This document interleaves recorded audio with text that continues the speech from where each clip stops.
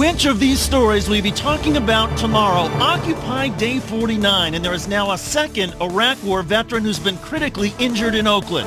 This time not from the projectiles, but from police batons. Kayvan Sabeghi lays in intensive care after what he says was an unprovoked beating by police. We'll talk to the reporter who broke the story. Mitt Romney's best week ever?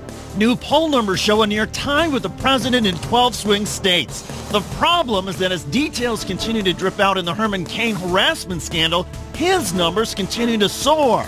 Cain must have a secret weapon. I am the Koch brothers' brother from another mother. And Sputnik in a box. We are proud today to, to prove that uh, human can uh, go to Mars Six astronauts emerged from a simulated trip to Mars, 520 days locked in a room with no sunlight and lots of electronics. Wait, is that Mars or just another weekend for the average teenager? All that and more now on Countdown. I'm a Martian!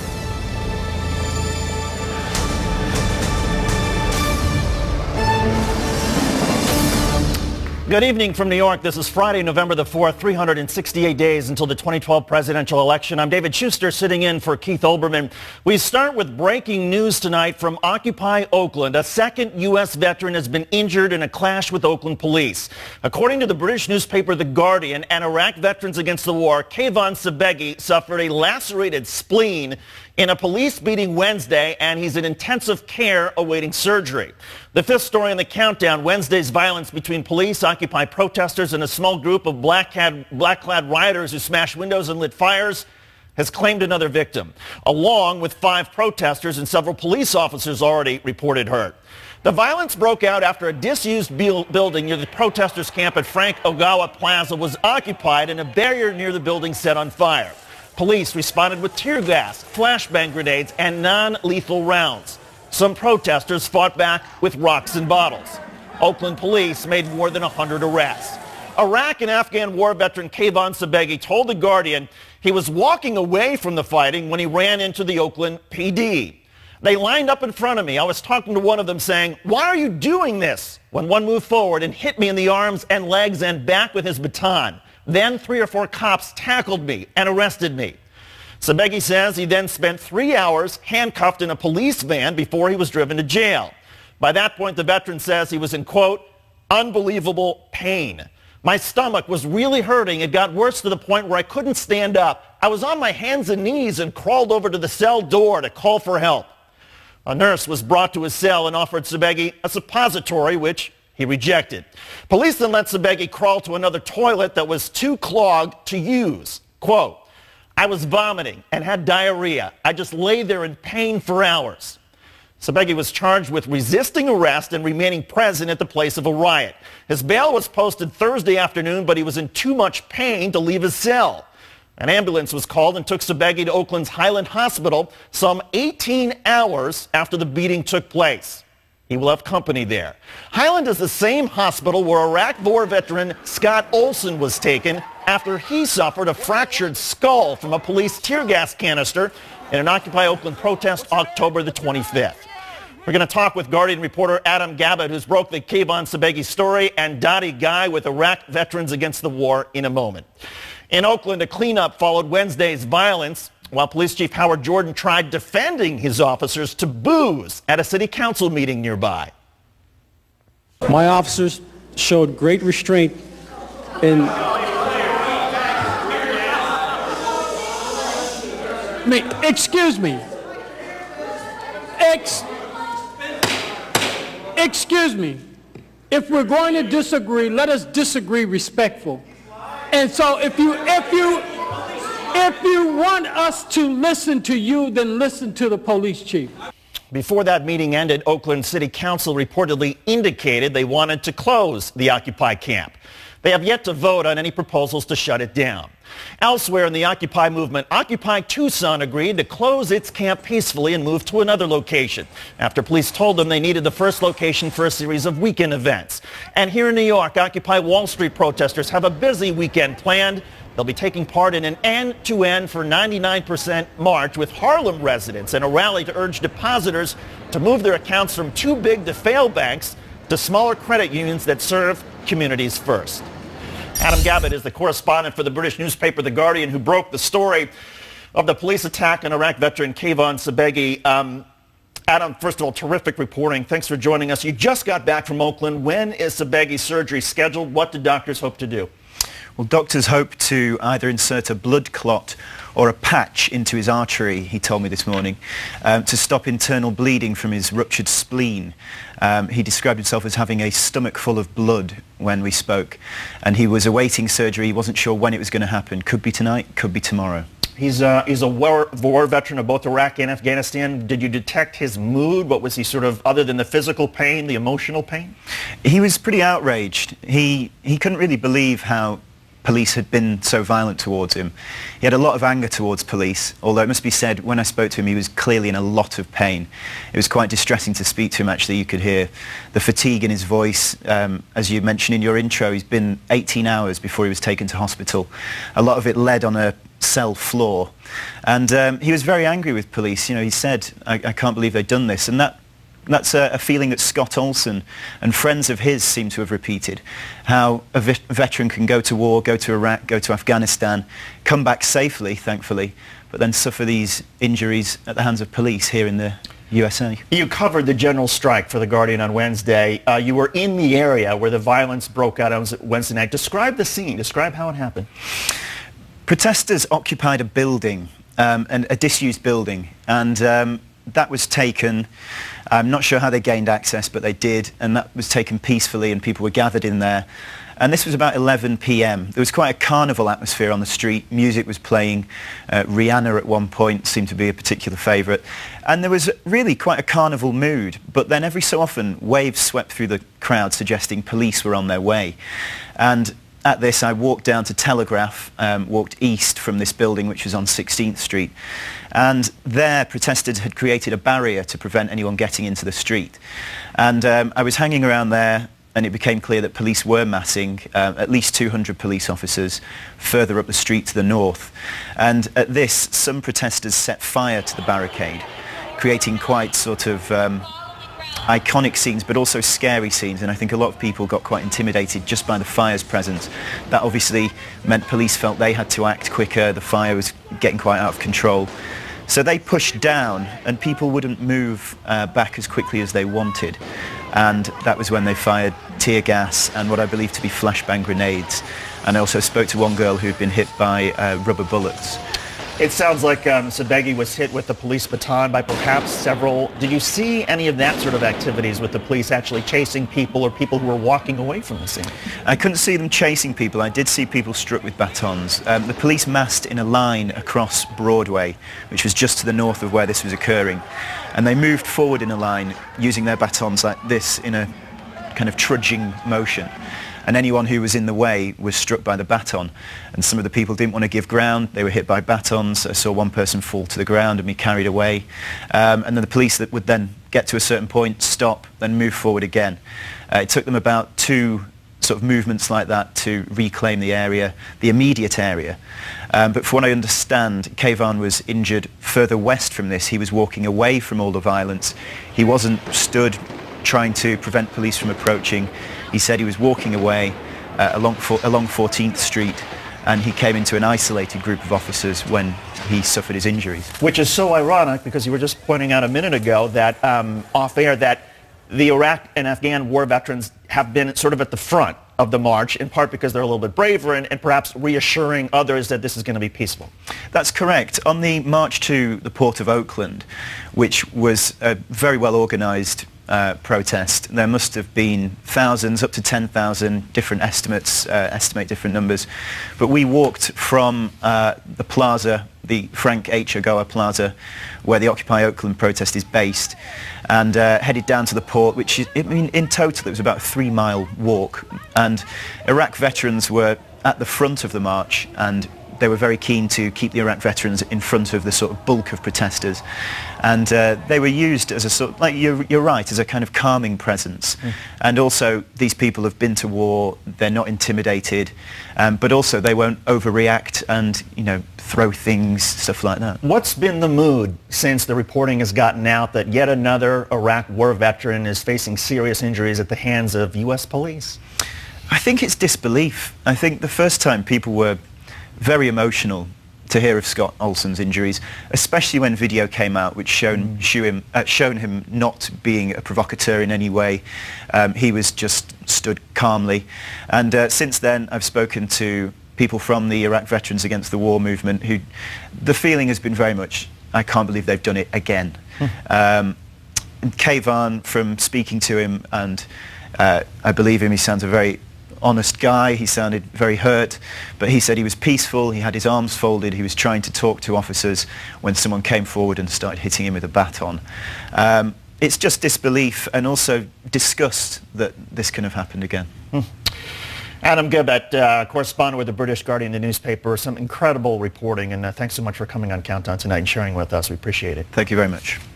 For more on this story, we're now joined by Dottie Guy with Iraq Veterans Against the War. Uh, Dottie, have you spoken with uh, Kayvan today, and, and what are you picking up about uh, the incident uh, from your perspective? Well, I did speak with him today, and he did sound like he was in a lot of pain. I really felt bad that he had to go through this, and there's a lot of disbelief that this happened again, and we were hoping that this this event would happen peacefully, and it devolved into what happened last on that night. What's your reaction to the reporting that we just got from uh, Adam Gabbatt that in fact uh, this wasn't a case where essentially veterans were at the front of a protest even though they have been, but this was a case where it sounds like he was walking away by himself and was a fair distance away from where the action was and that's where he got hit with batons. I feel that is absolutely just incredible that that would happen in the United States. We as you mentioned before, we did walk in the front of the of the Port of Oakland March, and we did try. We were there to defend our First Amendment right to peacefully assemble and the freedom of speech. And for a soldier to come back from war and have this happen to him, it's totally unbelievable. How did you learn about uh, this case involving um, Kayvan, the, the latest one? One of my friends was also was arrested at the time, and he told me that he saw a vet that was on the floor in the in the jail cell, just in pain and just he, he let us know and we contacted the National Lawyers Guild to get more information about his whereabouts and his name. Do you see any uh, closer ties between the Occupy movement and uh, activist veterans groups going forward, perhaps by necessity because of how uh, dramatic this has become? Well, I think it's brought a lot more attention to it, and it shows that the veterans, we are part of the 99%. These wars that we're fighting, they've made a lot of people very rich, and a lot of us aren't getting the care and respect that we deserve. And with the vets that are coming back to the United States after the Iraq War ends, they're coming back to an economy where the unemployment rate's at astronomical level.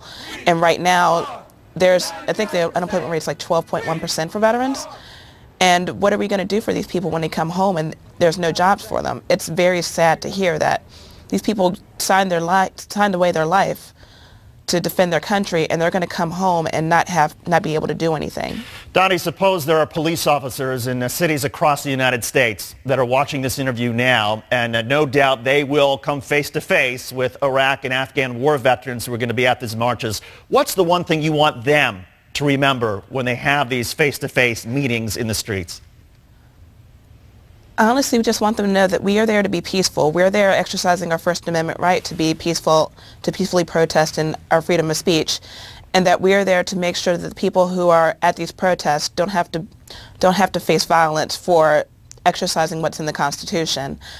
I honestly feel that I hope that they will use a use a lot more tact in what they do, and that they don't we don't have incidents like this again. And the irony being that uh, there are a fair number of Iraq and Afghan war veterans who are members of these police departments who yes. have sort of doubled and, and, and whatnot. And, and so it just the, the irony and sort of the drama of that um, makes it perhaps even more sad, I suppose. Well, everyone has to work. I mean, if they feel that they should be working in the police department, I can't fault them. But I just really hope that they take this into consideration before they do any action that will cause harm to veterans or civilians. And then Dottie, finally, uh, we, you had the opportunity to talk to police. What about to fellow veterans out there, even some who may not necessarily quite understand or agree with everything that the Occupy Wall Street movement is about, but may be so outraged over the fact that one of their brothers or sisters, a veteran, has been injured again. What's your message to fellow vets? I just want to let them know that they have a voice and they should be able to be heard. Right now, with all the vets that are coming back with PTSD, traumatic brain injury, and the women who are coming back with sexual assault, we really need to know that they they're not alone and they have a voice and they should be they should be able to voice it in the way that is peaceful and appropriate. Dottie Guy with Iraq Veterans Against the War. Dottie, uh, thanks so much for coming on tonight. We appreciate it. Thank you for having me. You're welcome. Up next, the opportunity you have to occupy the financial system. Every day is bank transfer day, but this one is something special.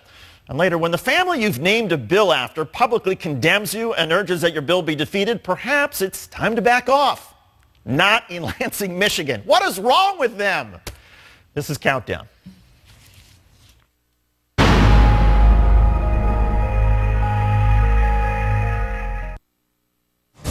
For many years, the Republican Party has had difficulty appealing to women voters, and yet again, we've seen the reasons why. A huge financial boost for Herman Cain, an outright mocking of sexual harassment accusers.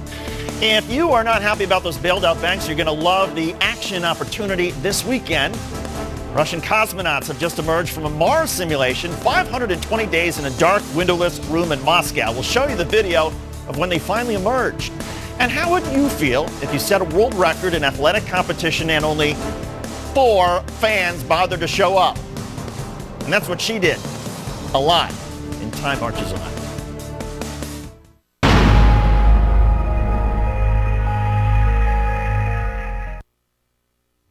Another grassroots movement is gaining a groundswell of support among consumers, and this one is aimed at major banking institutions. In our fourth story in the countdown, Bank Transfer Day is an organization urging big bank customers to close their accounts this Saturday in favor of credit unions. Remember, remember! Remember, remember! The 5th of November! The group has now gained the support of the Occupy movement as well as thousands of fans on Facebook. Bank Transfer Day says its mission for Saturday is straightforward. If we shift our funds from the for-profit banking institutions in favor of not-for-profit credit unions before this date, we will send a clear message that conscious consumers won't support companies with unethical business practices. It's time to invest in local community growth. It appears the movement has already had quite an impact. According to the Credit Union National Association, credit unions have added more than 650,000 members and $4.5 billion in new deposits in the past month. The Los Angeles Times reports only 600,000 total joined credit unions in all of 2010. The group, conceived by Los Angeles gallery owner Kristen Christian was, and uh, born on Facebook, was created out of anger against Bank of America's announced monthly $5 debit card fee. BOA has since put those plans on ice. The movement supporters say big banks are the reason we're in this financial mess to begin with. If you put your money in an investment bank, you have no idea where it's going to go. And every big bank has an investment banking branch that they use to turn your money into credit default swaps, toxic assets and things that brought down the, the mortgage market in the first place and completely crushed our economy. Joining us now, one of the organizers of Occupy LA, which has endorsed Bank Transfer Day, Chase Golding. And uh, Chase, uh, good of you to join us tonight. You're organizing a march tomorrow through LA's financial district to show support. Uh, what's the message of the march? The message of the march is uh, there's too much corporate power, and this is one tactic we're using as Occupy Los Angeles to use people power to put a check on that. Tell us about the relationship between the Occupy movement and Bank Transfer Day. Here in Los Angeles, um, I think of them as actually one and the same. I think we're aligned exactly along the same principles. Uh, we believe that banks have way too much power in this country and it's hurting our society. Um, when banks got in trouble, Congress rushed to bail them out with taxpayer dollars. And now that our communities are suffering, uh, we can't get bailed out ourselves. We're being foreclosed on. Um, and so we want to move our money into institutions that will support the creation of jobs and do something with our money that actually helps our communities. I've heard a lot of people say that they would like to do this, they would like to support it, but it's, it's a pain to sort of go through all the steps of moving your checking account and your automatic bill payments from one bank to a credit union. Address those concerns. Is it really that difficult? Uh, it, it, it's somewhat difficult. I mean, I think we all are at different points. Uh, all occupiers that I talk to have different sort of financial situations. Um, but in my experience, when you open a credit union account, they're extremely helpful in working with you um, to make it as easy as possible. You definitely want to be careful that your direct deposit is switched over and your automatic bill pay. Uh, it's not something to rush, um, but it's an important statement to make as a conscious consumer. We saw, uh, and, I'm sorry, go ahead, finish. Oh no! Uh, in my experience, credit unions are offering a level of service that we haven't seen from banks lately. Uh, real individual attention and stuff like that. So if that's something you miss, you definitely uh, want to look at a credit union. Yesterday we saw Occupy D.C. Occupy uh, Senator Mitch McConnell's office. Today, of course, we're talking about the bank transfer day movement. Has the Occupy movement uh, provided the framework, or perhaps a, a viable forum for a lot of these different causes and issues? I think actually that's the most progress that, that we've made uh, as a movement. The biggest contribution we've made is to change that conversation nationally. I remember a month back, or what is it, two months back, uh, the conversation was all about cutting public services and reducing the deficit. And now we're actually talking about fixing the economy and rebuilding this country. And in my opinion, that's a, a pretty direct result of the occupations. As far as strategy, though, would all of these various movements be stronger if they joined forces in some way, and would that even be possible? I think people are always stronger when they come together. Um, this is, there's a lot of problems in this country, and uh, we need comprehensive solutions that are going to take all of us as Americans coming together and, and, acting as one to take this country back and put it in a direction that, uh, that works for all of us again. And Chase, what do you see as the ideal next step for the Occupy movement, not just in Los Angeles, but across the country? Um, man, it's really tough. There's a lot of problems that we have that we're facing as a movement. I think the ideal next step is to continue the discourse that we're having. Um, it's, it's moving, I wouldn't say slowly, I would say it's moving deliberately because we have uh, complex problems that we're facing and so we need comprehensive, holistic solutions. So I would urge everyone to go to their local occupation, and I think within the first couple minutes, you're going to see uh, how positive it is, how wonderful people coming together in discourse can be, and uh, you're going to feel welcome and you're going to feel powerful. Well, I've certainly found that uh, Occupy DC is perhaps the most interesting 24-hour political event that we have in that city today, and it's just a fascinating thing to watch. But uh, Chase Golding of Occupy Los Angeles. Chase, thanks so much for coming on the show tonight. We appreciate it. Thank you. You're welcome. Coming up, the Republican anti-bullying bill in Michigan is so awfully written, perhaps by design, that it actually teaches bullies how they can get away with tormenting gay and lesbian classmates. I have a message for those Michigan Republicans. And Herman Cain, the Tea Party darling for president, has proclaimed his love for the Koch brothers. Good grief. Coming up, a simulated mission to Mars comes to an end when the six volunteer astronauts return to Earth by exiting a warehouse in Moscow where they've been isolated for 520 days. But first, the sanity break. And it was on this day in 1879, cowboy philosopher and humorist Will Rogers was born on a ranch in Indian Territory. The son of a respected mixed-blood Cherokee couple, William Penn Adair Rogers, grew up riding and roping on the plains of Oklahoma. He joined Texas Jack's Wild West show at the age of 32 under the stage name Cherokee Kid. For all his rope skills, Rogers soon realized that audiences most enjoyed his impromptu jokes, witty remarks, and screenplays for the Lone Ranger. Time marches on. We begin as we always do with a prairie dog dancing in a tutu, something Poppy the Bichon in D.C. would never do do. How about that, Ryan? Oh, oh, sorry, we don't always begin with dancing dogs? Either way, move over Black Swan and make way for a cute brownish prairie dog. According to reports, the prairie dog actually trained with Baryshnikov in the 80s and mimicked his love of popcorn. But let's be honest, those reports are probably not true. in sports, let's go to the videotape. This young Japanese girl in front of all those fans is competing to be the fastest jump roper in the world.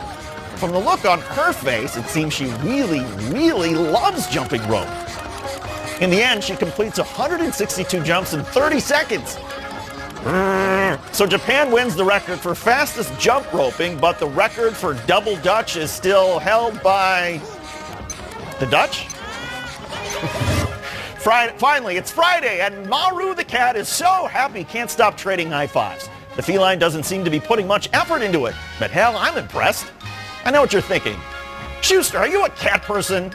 I'm thinking, hey, can Maru do the other hand? Yes, he can. He goes left, he goes right. Next, he's going to work on that pat on the backside thing football players do on the sidelines. Time marches on. Up next, according to the polls and the fundraising, Herman Cain is having the best political week of his life. The establishment in the GOP is increasingly nervous. And later, would you ever want to spend a year and a half in a windowless room in Moscow with no light? Apparently some Russian cosmonauts volunteered.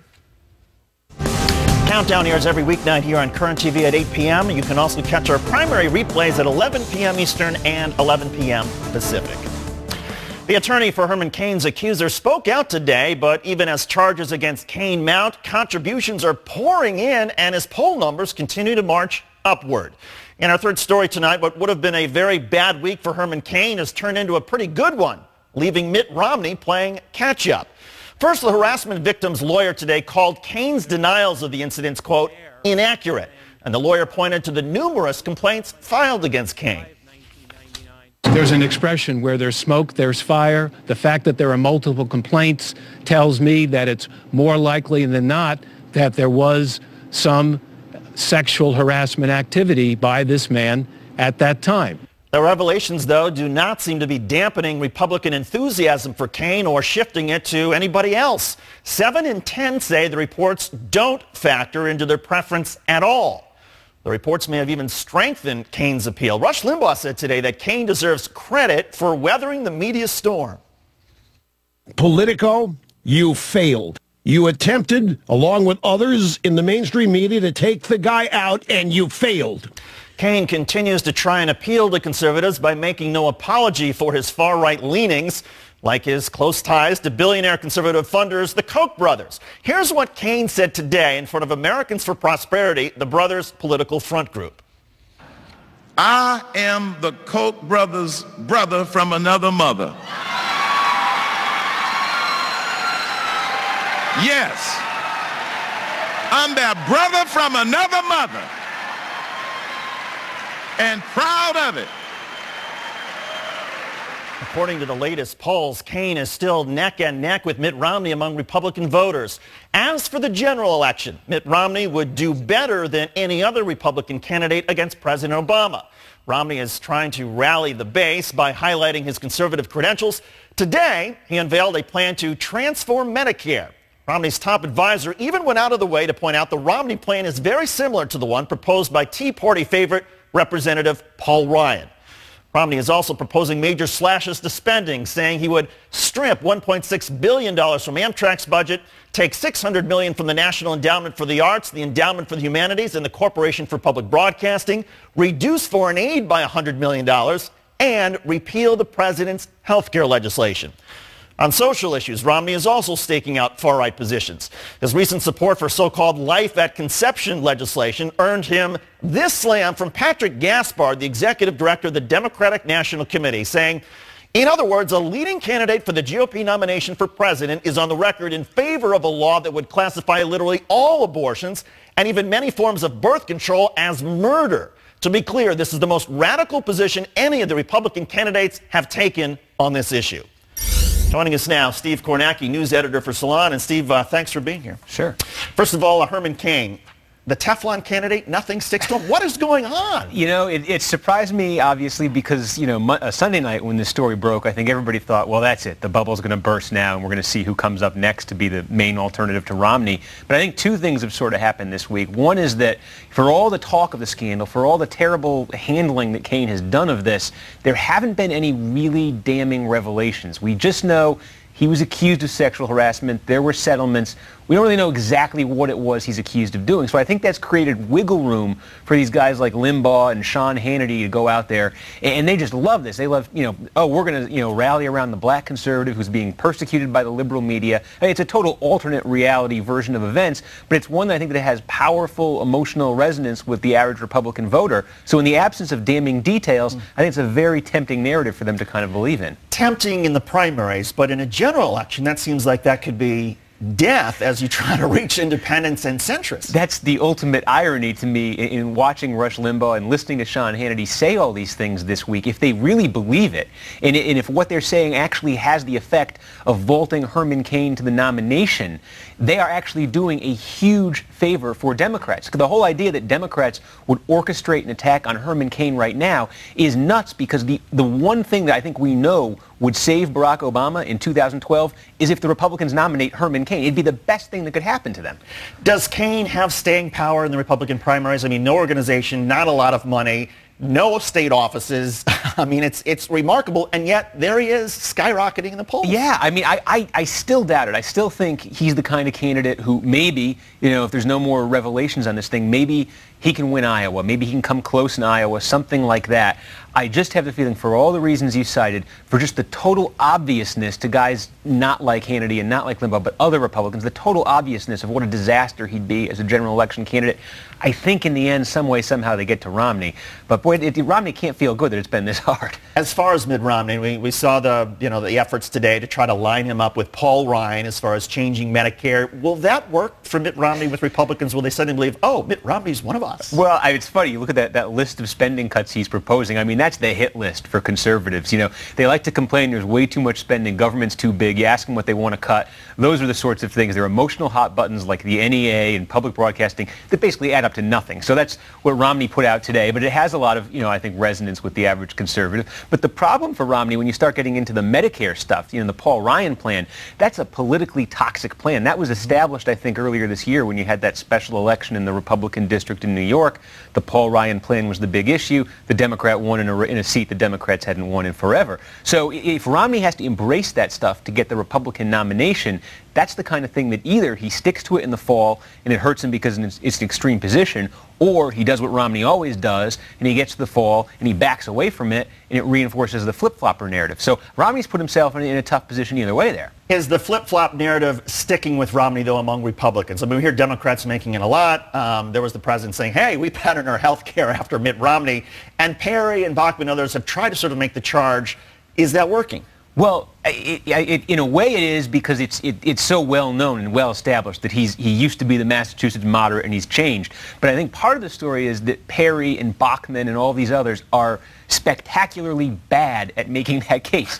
and so it, it's been sitting there and they've been totally unable in debate after debate to formulate a simple potent, coherent attack on Mitt Romney that says, hey, conservatives, you can't trust this guy. So it, it's sort of, it's, it's the low-hanging fruit, and these guys are so short and they can't jump, they, they can't catch it. And then finally, what are you picking up from the Romney campaign about Herman Cain? Do they continue to sort of sit back and wait for him to implode, or do they feel at a certain point, no, they have to be more aggressive? And I, I, I, my sense of the Romney campaign is if there's going to be one sort of designated conservative alternative to Romney in the primaries, they're happier with it being Cain than Perry for the simple fact that you know, he's getting money this week. Cain still doesn't have Perry money, doesn't have any endorsements, doesn't have any political organization, and I think there's more doubt among Republican leaders about Cain's ability to win in the fall than Perry's, although there's plenty of doubt about Perry too. So I think all things being equal, they'd rather have Cain be that guy because they think he's a softer, you know, a softer opponent. Steve Kornacki, news editor for Salon. Steve, always a pleasure talking politics and anything else with you, and thanks for coming on the sure, show. Happy to do it.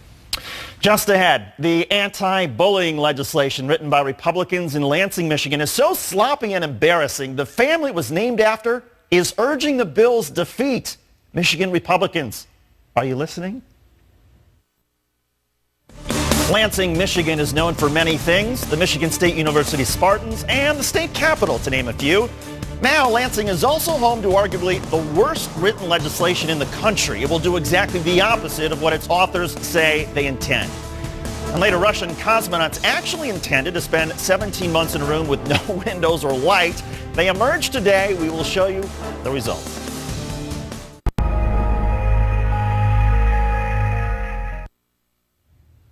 If you think members of Congress do some pretty stupid things, we now have proof that federal lawmakers are Einsteins compared to the Republicans in the state Senate in Michigan. In our second story in the countdown, yes, the city of Lansing is now home to a group of Republican lawmakers who wrote a law so badly that even the family it was named after reacted with disgust. This might actually be funny if it wasn't such a serious issue. The issue is school bullying.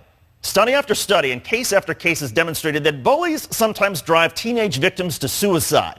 Most states are fighting back with laws to protect the victims. Michigan Republicans just moved a bill forward with language to protect the bullies. Seriously, the Michigan Senate, led by Republicans, added language this week to their self-described anti-bullying law with a sentence that says, this section does not prohibit a statement of sincerely held religious belief or moral conviction of a school employee, school volunteer, pupil, or a pupil's parent or guardian. In other words, you apparently can torment a classmate if you believe the Bible tells you so. That means misguided kids who are taught that being gay is an abomination, well, they are now free to torment their gay and lesbian classmates anytime, anywhere. Here's the reaction from the leader of Michigan Senate Democrats. There are at least 10 Michigan children in the past decade whose deaths are directly attributable to bullying. You're explicitly outlining how to get away with bullying. This bill is called Matt's Law after Matt Epling, a 14-year-old boy who killed himself in 2002 after anti-gay classmates poured syrup and crushed eggs on his head. The saddest and sickest irony of this whole thing is that it's called Matt's Safe School Law. And after the way that you've gutted it, it wouldn't have done a damn thing to save Matt. This is worse than doing nothing. It's a Republican license to bully. Kevin Epling, Matt's father, he called the bill government-sanctioned bigotry. Bullying is destroying communities. It is destroying lives. Their lives cut short because someone else thought it would be fun to intimidate, humiliate, and harass them. Please don't hide it away internally. Let someone know what you're going through. And Democratic Senator Glenn Anderson read more from a statement by Matt's father. To give people a pass because their verbal or physical abuse or assault, rather, is sanctioned by religion is mind-boggling. I am ashamed this, that this could be Michigan's bill on anti-bullying, when it in fact is a bullying is okay in Michigan law. Shame on our elected officials. Republicans say the intent of the legislation is not to give bullies a legal roadmap, but rather to get each district to write an anti-bullying policy in the next six months. Well, Michigan Senate Republicans, you've picked one hell of a way to inspire the school districts to act. I appreciate that your intention or the intention of most of you may not have been to enable wingnut kids to torment their gay and lesbian classmates. But the fact is, that's exactly what this legislation would do. It would enable the most despicable behavior imaginable. And it is the worst written bill I've ever seen in 20 years of covering both state and federal politics. The worst. Thankfully, the Republican-led House in Michigan doesn't support the language, and the governor has questions too. Still, Michigan shouldn't have to rely on the common sense of House Republicans and the Republican governor to see this thing die. This bill is an embarrassment to anybody with half a brain in the great state of Michigan. At best, Senate Republicans there have lost their cognitive thinking skills. At worst, they are evil, homophobic, bullying enablers. Either way, this is outrageous. The legislation is insulting and offensive, and it must be stopped. Outer space still remains the last frontier. The next logical step in space exploration is a trip to our sister planet, Mars. In our number one story, six men have just completed what can only be described as an extremely small step for mankind after completing a 17-month mock mission to Mars. Mock being the key word. Six men arrived home today after spending 520 days on a simulated trip to Mars. Oh, Sorry, that was footage from the movie Total Recall. Here's the actual footage of the brave man emerging from what appears to be a shack. The $15 million Mars 500 mission was focused on the psychological effects of being in a confined space for an extended period of time. The men were fed rations, rarely showered, and were under constant surveillance to monitor their health. The mission carried out by the European Space Agency and Russia's Institute of Biomedical Problems seems to have been a success as all six men emerged healthy. They will undergo evaluations over the next few days to confirm their health. This is a major advancement for the program after a similar experiment failed in 2000 after two of the participants got in a fist fight. Still, space officials say technologically they are still decades away from protecting astronauts from cosmic radiation, landing them 35 million miles away and then bringing them home. Basically, everything that would be required in actually sending people to Mars. Here to explain all of this in terms I can understand is Chief Astronomer of the Franklin Institute and Countdown contributor Derrick Pitts. Derrick, thanks as always for your time tonight. Does this prove that humans are ready to go to Mars?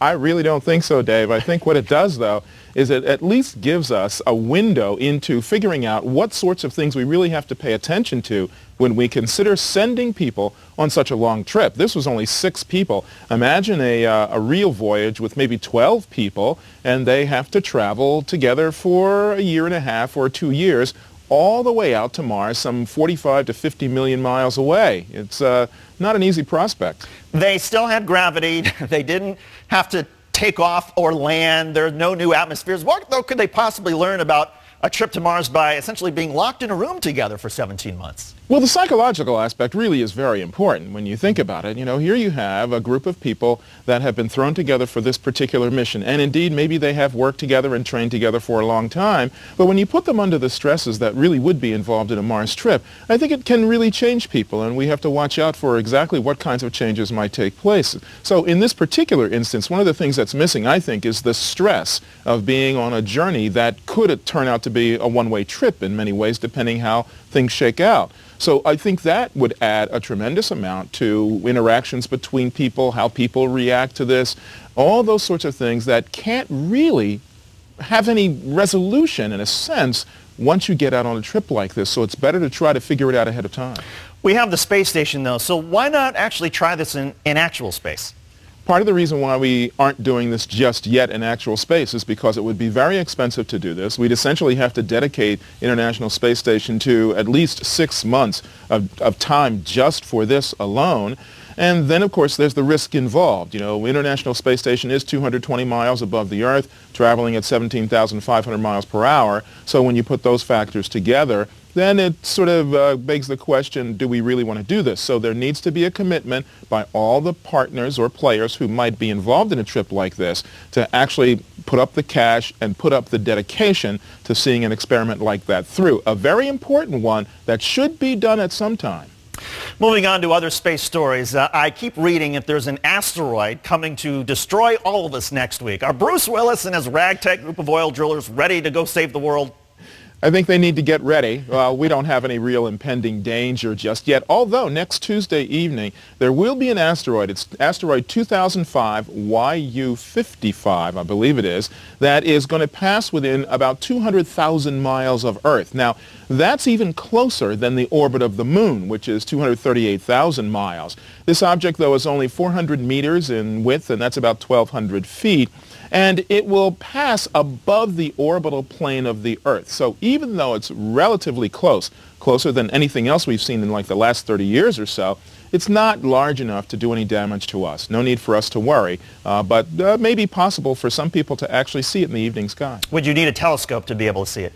You need a very big telescope to see it because the object, even though it's 400 meters, David, it's still small. It's still quite dark, dim even, if you will. And because it's moving at a pretty good rate of speed, it might be difficult to pick it up. But it's still observable by uh, professional astronomers using radar telescopes and other instruments. Another story out today about uh, NASA trying to create a laser that acts as a tractor beam. Since we're no longer sending people into space, why do we need a tractor beam? Uh, you know, the actual idea of this is, is not really the Star Trek idea of grabbing spacecraft and pulling them in, but a, a, group of scientists at NASA have figured out that there are certain kinds of physical properties that laser beams have that if you uh, cross the beams in just the right way, you can actually make very small particles move along the beams. So it's somewhat similar to, you know, the scene that we saw in Ghostbusters where they cross the beams of the guns and they pull the spirits in. Well, it's kind of like that, except they're not not pulling spirits, they're just pulling very small particles. Could be applicable when trying to get particles from distant planets uh, to be drawn up from the surface without sending people down. And real quickly, will we ever reach a point where we've reached the smallest particle? Uh, I don't think we'll get to that smallest particle. There's so much out there. You know, we're trying right now to figure out how to use a laser beam to identify these really tiny elementary particles, but I think there's a whole lot more in that zoo of the very, very small that we have yet to discover. Derrick Pitts, Chief Astronomer of the Franklin Institute. Derrick, thanks as always. We appreciate it. My pleasure, David. Thank you. And that is it for this edition of Countdown. I'm David Shuster in for Keith Olbermann on behalf of all of us at Current TV. Thanks for watching, everybody. Have a great weekend.